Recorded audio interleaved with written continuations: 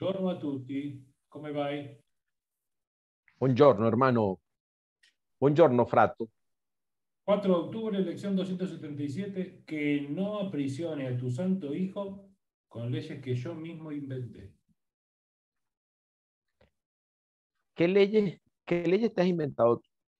A mí el que me jode le rompo la cabeza un coñazo. por ejemplo?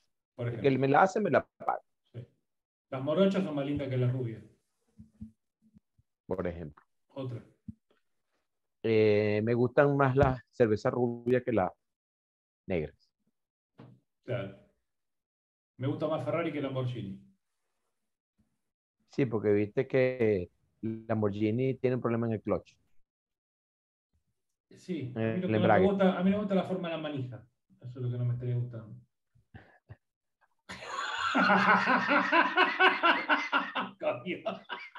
¿Qué tipo de tallita? Pero esa, a ver, las leyes de este mundo que nos inventamos a veces tienen esa vaina. O sea, Bueno, te digo una cosa, yo me voy ni por el Ferrari ni por el Lambo- la Lamborghini, yo me voy por la Pagani. aguanta Argentina, vieja. Sí, de verdad. Y, y date cuenta que esta lección, esta lección me repite el título. Sí.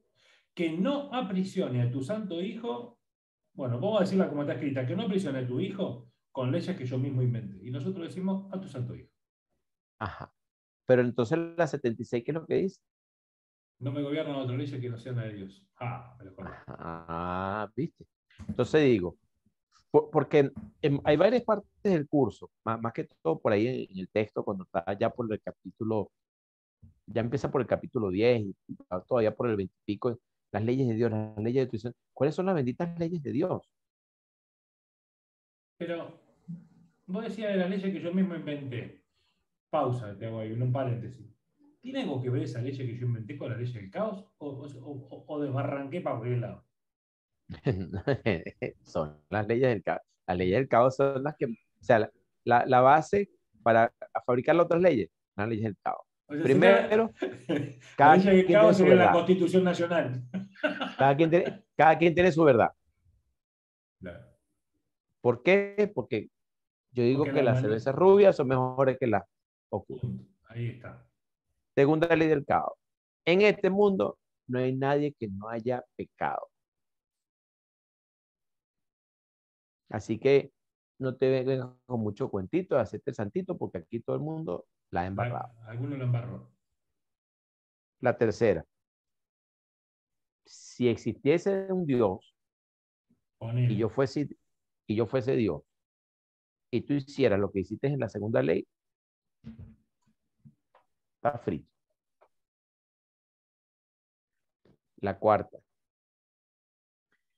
La única forma de salvarte es que busques fuera de ti algo que te pueda salvar. Un monasterio, una ropa, una comida, un traje espacial, un algo. Y la quinta, eso que tú estás buscando, lo tiene tu hermano. O quizás eres tú el hermano que lo tiene y el otro lo va a quitar. O sea, siempre, siempre alerta. O para recuperarlo o para no perderlo. Ajá. Volviendo a la lección. Entonces dice que no presione a tu hijo con leyes que yo mismo inventé. Es un momento de ejemplo. reflexión en el punto de decir cuáles son las leyes que yo me inventé. O ni valdría la pena en revisar esa locura que me inventé. gente. Son las del caos. Entonces digo, todas esas leyes te caen, en algún lu- lugar caen con las del caos. Incluso ahí mismo cuando finaliza la ley del caos, el maestro Jesús nos dice, estas leyes no te las estoy mostrando aquí para que las entiendan, ni las interpreten, ni te pongas a estudiar. Es para que sepas dónde estás metido, en el- o sea, cuáles son las leyes que rigen el manicomio, ¿viste? ¿Dónde estás parado? De algún modo. Esto es una fiesta de locos. Uh, uh, uh, uh. Esto es una fiesta de locos. Pero yo soy el único que no estoy loco. Bueno, veamos qué dice en la invocación que comienza así esta, esta lección. Dice, tu santo Hijo es libre, Padre mío. Que no me imagine que lo he aprisionado con leyes que yo mismo inventé para que gobernase en el cuerpo.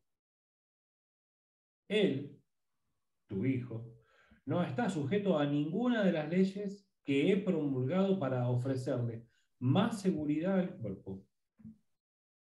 Lo que cambia no puede alterar a tu santo Hijo en absoluto.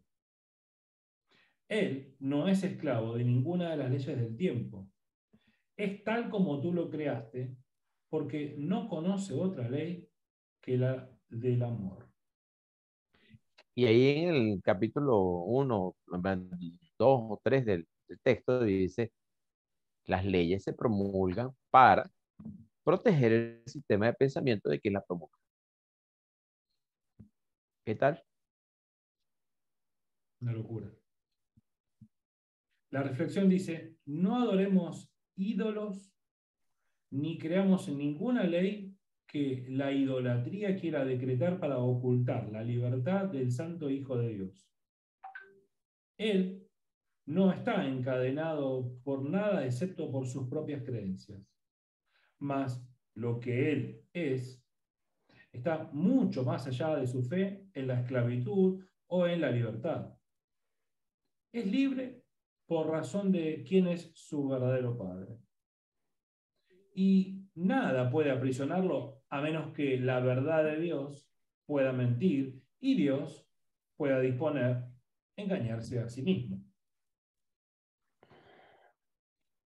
Así que a practicar hoy, a liberar al hermano, ¿no? Con esas leyes que yo mismo inventé. Sí, ¿no? Y, además el mundo que tú mismo te inventaste.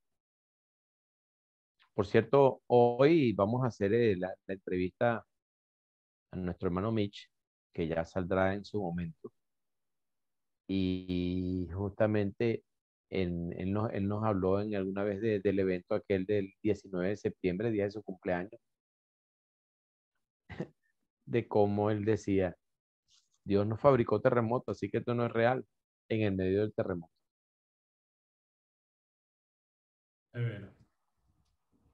No es lo mismo decirlo, no me gobierna otras leyes que la de Dios aquí que decirlo en el medio de un, de un cáncer grado 4 con el síntoma allí.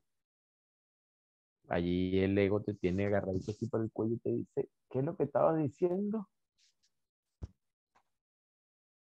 Y allí es cuando el Maestro Jesús nos dice, confía, confía que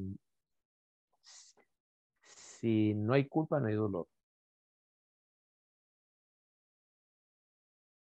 No hay culpa, no hay dolor.